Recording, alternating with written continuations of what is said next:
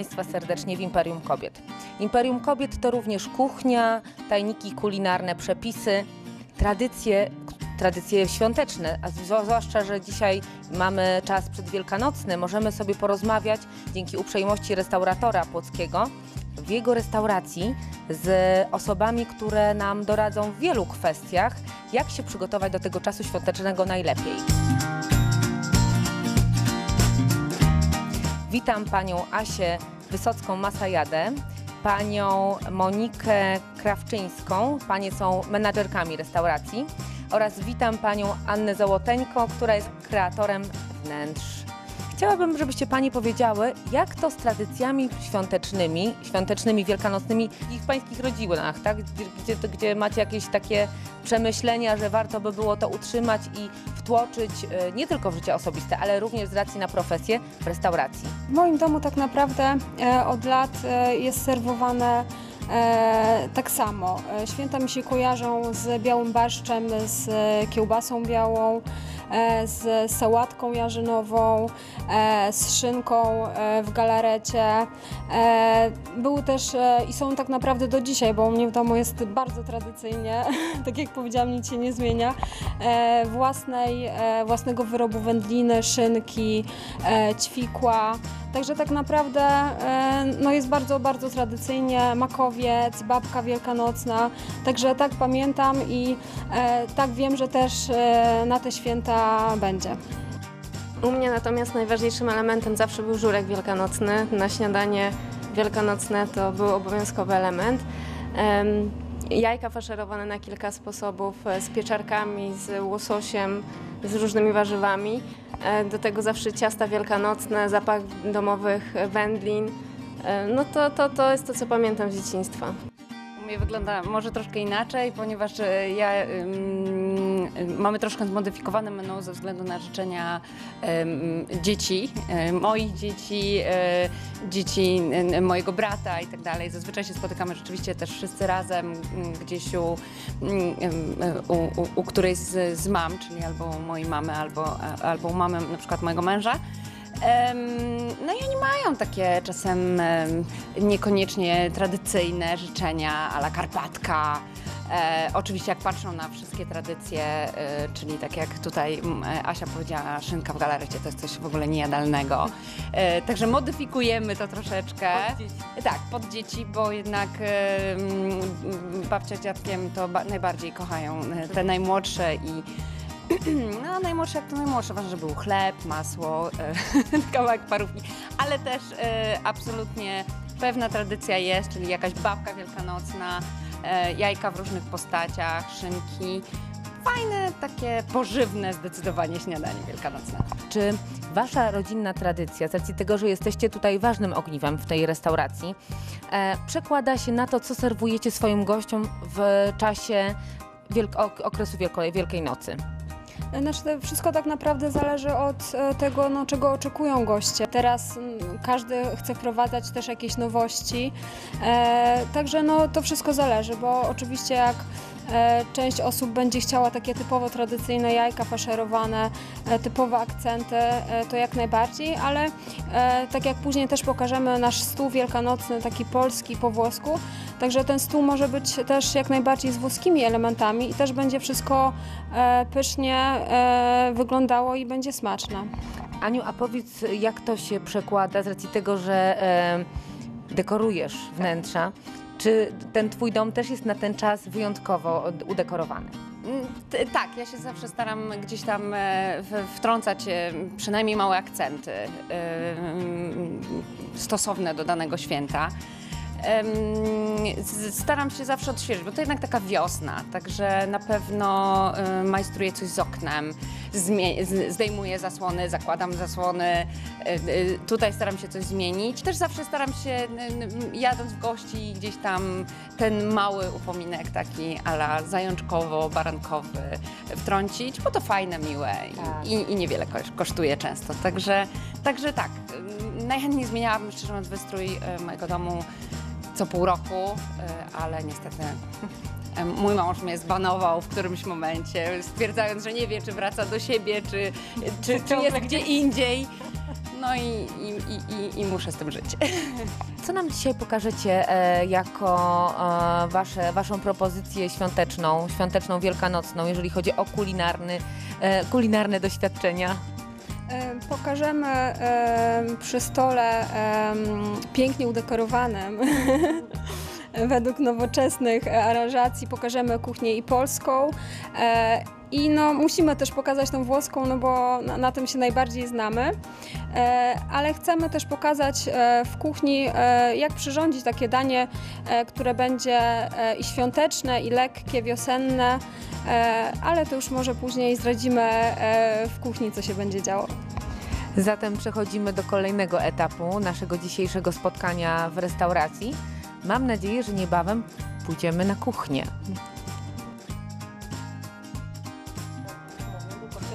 Dzięki uprzejmości pana kucharza zostaliśmy zaproszeni do jego wrót. Będziemy przyglądać się, co po- zaproponuje nam na wielkanocny stół. Witam serdecznie. Dzień dobry. Co będziemy robić na wielkanocny stół? Dzisiaj będziemy robić polędwiczkę z dorsza, podaną z pire z groszku i pire z marchewki, y, razem z ziemniakami gratin y, na blanszowanym szpinaku. Czy to danie, które dużo zajmuje czasu? Y, Może przygotowanie pire tak, ale ogólnie to jest bardzo szybkie danie. Czyli dla zapracowanej gospodyni domowej idealne. Jak najbardziej. To zatem bierzemy się do dzieła. Najpierw rozgrzewamy sobie y, masełko klarowane na patelni. Polędwiczkę z dorsza sol, doprawiamy solą, pieprzem i sokiem z cytryny. Polędwiczkę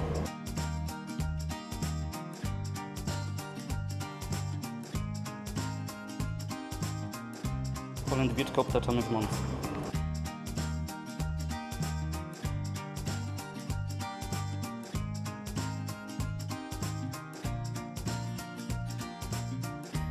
Dorsz się smaży do zezłocenia z obu stron. Później będziemy y, wkładać dorsza do pieca dosłownie na parę minut. Możemy teraz y, podgrzać nasze pire. Z czego jest to pire? Pierwsze pire zielone wiadomo z groszku. Yy, robimy je, wiadomo, yy, dajemy groszek, do tego yy, ze dwa, trzy średniej wielkości ziemniaki.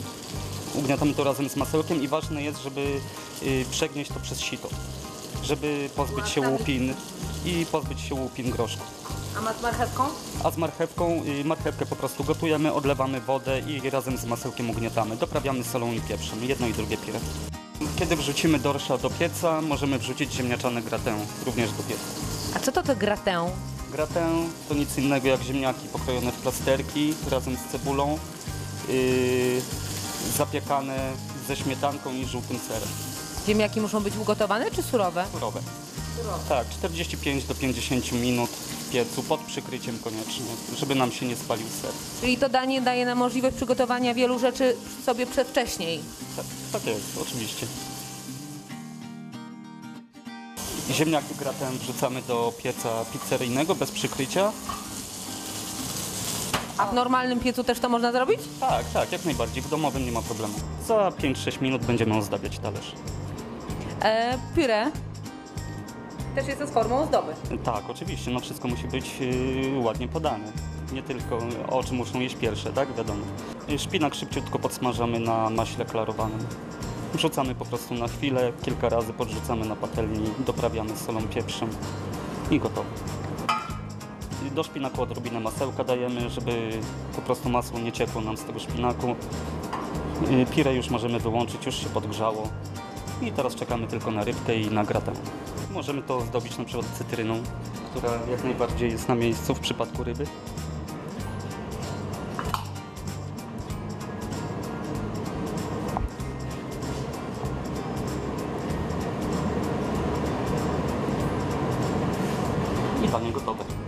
Czyli teraz możemy degustować.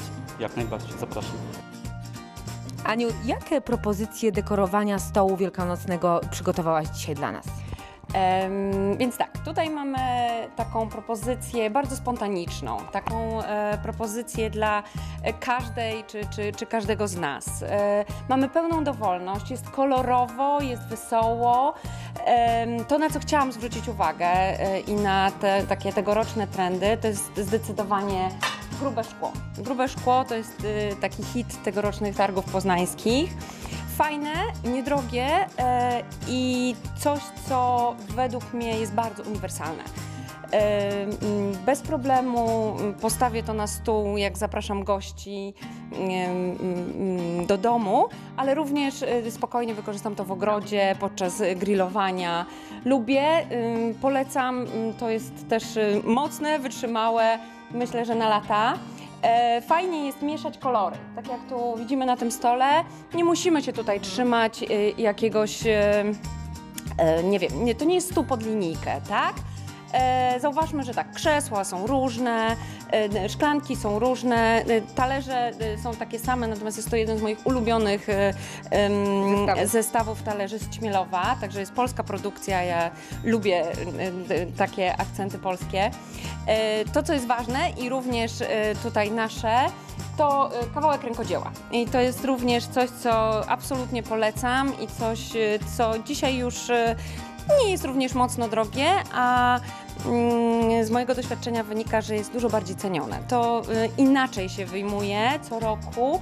Czujemy do tego jakiś tam sentyment, ym, nie nudzi nam się e, po, nie wiem, dwóch, e, trzech tygodniach, bo wiemy, że ktoś włożył w to pracę, zaangażowanie, fajne. Uważam, że zawsze warto mieć n- na stole kawałek jakiegoś takiego designu. Tu mamy mm, miskę również z naszej płockiej pracowni ceramicznej. E, pracujemy z dziewczynami, e, bardzo cenię ich pracę, one są świetne. Mm, mm, polecam również ich zajęcia na takie odstresowanie się, mm, grzebanie w linie, fajna, fajna sprawa. Co jeszcze? E, Ważnym i fajnym akcentem e, są też serwetki. Serwetka papierowa to jest coś, co wprowadza kolor, tak? Każda z nas też e, jakby ma ten obrus, taki czy inny. Niskim kosztem możemy wprowadzić kolor,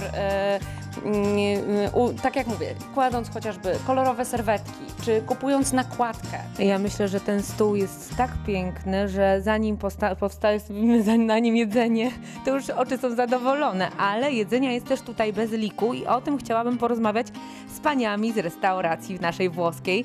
Co tutaj serwujecie e, gościom na tym stole? Czy to, jest, e, czy to jest tradycja polska, czy bardziej włoska? Proszę opowiedzieć troszeczkę nam o tym. E, Przygotowaliśmy dwa, dwie propozycje e, stołów, zarówno polską, jak i włoską. Em, Proponujemy różnego rodzaju dania, zarówno tradycyjne, jak i bardziej nowoczesne. Mogę opowiedzieć po kolei tutaj, co znajdziemy na tym stole. E, Więc mamy focaccię z włoskiego ciasta. z Focaccia, czyli co? Focaccia to jest e, pieczywo włoskie e, z pesto, z pesto bazyliowym, z grana padano, z pecorino romano, z orzeszkami pini, oliwą oczywiście z oliwek. E, Tutaj mamy e, grissini, to również e, są, palu, to są paluchy z ciasta włoskiego. Również możemy je e, serwować z, z pesto bazyliowym, możemy je wykorzystać zarówno e, do żurku, do sałatek, do wszelkiego rodzaju przystawek. Deser widzę tutaj jest, to jest nasz polski bardziej czy włoski? Proszę powiedzieć, jak się ma To to jest nasza polska szarlotka, która oczywiście jest nieodzownym naszym elementem, bo serwujemy ją naprawdę wyśmienitą. Mm, Na desce serów to taka nasza d- propozycja antipasti. E, Są zarówno sery twarde, miękkie, sala, salami, różnego rodzaju szynka crudo, e, no co, coś innego na, na nasze polskie stoły. No powiem szczerze, że patrząc na wersję pierwszą stołu wielkanocnego jestem już mega głodna. Zatem przechodzimy do drugiego stołu. Tu widzimy wersję bardziej glamour. Tak, mi się bynajmniej wydaje. Co nam op- opowiesz o tym stole? E, To jest drugi jakby trend wnętrzarski. On rzeczywiście jest już praktykowany i takich klientek jest coraz więcej, które, które lubią, które lubią połysk, które lubią kryształek, które są dużo bardziej pod linijkę niż przy tym pierwszym stole, tak? Czyli generalnie mamy te same e, krzesła, obrusy, które należą e, do jednej jakby grupy fakturowej. One się różnią tylko mm, kolorem, natomiast rodzaj obrusa jest ten sam. Mamy to samo w serwetce, czyli generalnie mamy tu ład, skład, jest dużo bardziej pod linijkę. Porcelana pokazana na tym stole to również Ćmielów, e, czyli, czyli nasza polska produkcja. E, To, co wprowadziłam tutaj, to e, fajny, elegancki, taki, takie naczynie na, no w tym przypadku żurek barszcz biały.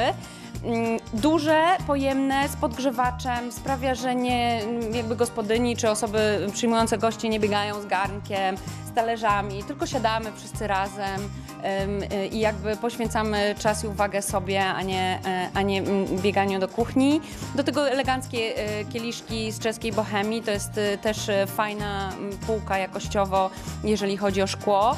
E, przeróżne, przeróżne e, świeczniki. Też mamy glamour, połysk, trochę kryształku. To też musi jakby stać równo, bo, bo moje klientki, które lubią glamour, tak lubią, e, a ja lubię je i, i, i, rzeczywiście tutaj jakby ten, ten, ten typ tak ma i, i tak to robimy. No i już. E, Wtrąciłam tutaj również małe elementy kolorowe. To jest coś, co przeniosłam z tamtego stołu, bo to jednak Wielkanoc, tak? E, Roślina, czyli, czyli jakiś kwiat, tam mieliśmy tulipany.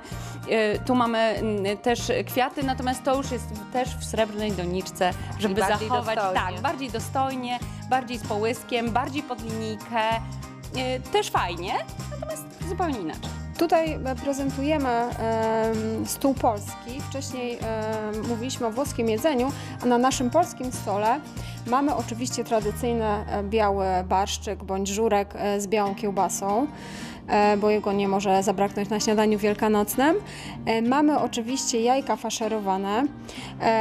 Sposoby faszerowania, no, sposobów jest bardzo wiele. My tutaj zaprezentowaliśmy takie trzy rodzaje. Mamy jajka faszerowane tuńczykiem, e, jajka faszerowane e, łososiem wędzonym e, oraz e, takie e, lekkie faszerowane e, z rzodkiewką.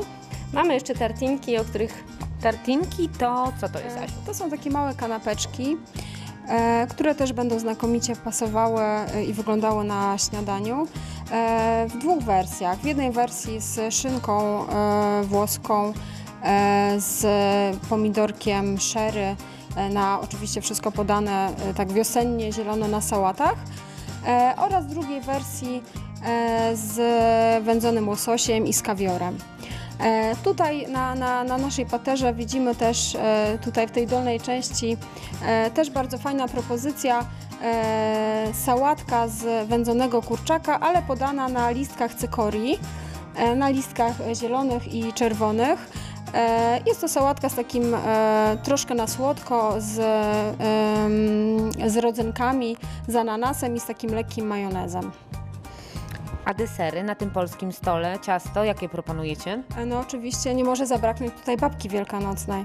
Także jest babka, jest także makowiec, także no te ciasta, które no, przypominają nam o Wielkanocy i, i muszą się znaleźć na naszym stole.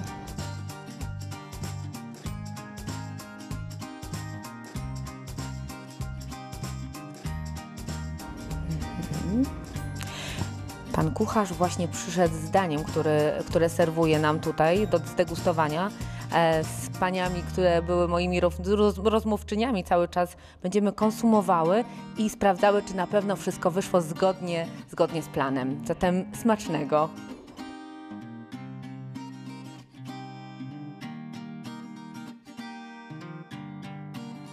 Skąd jest inspiracja e, kuchnią włoską, twoja inspiracja? E, Ja osobiście jestem oczarowany Włochami od zawsze i wolne chwile, które spędzam e, we Włoszech, kiedy udaje mi się takie znaleźć, bo jest ich coraz mniej, oczywiście spędzam bardzo często e, w gastronomicznych lokalach, podglądając, smakując, podpytując często właścicieli. Ta celebracja życia oparta na, na do, dobrym dobrym jedzeniu, e, takiej sielskości bardzo mi odpowiada i na ile jest to możliwe staram się przenieść ją na grunt naszego skromnego miasteczka. Ja bardzo chciałabym Wam wszystkim podziękować za wspaniały czas, za e, lekcje, e, dla mnie mega lekcje. Myślę, że dla naszych pań, które oglądają, są wierne Imperium Kobiet, zdecydowanie też. E, dziękuję Państwu bardzo za uwagę i życzę zdrowych, wesołych świąt.